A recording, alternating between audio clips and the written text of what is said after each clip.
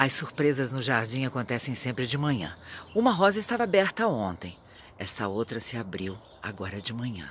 Especialmente para você, porque hoje é domingo para dizer que o seu dia vai ser maravilhoso, cheio de boas energias, saúde para todos. Beijos.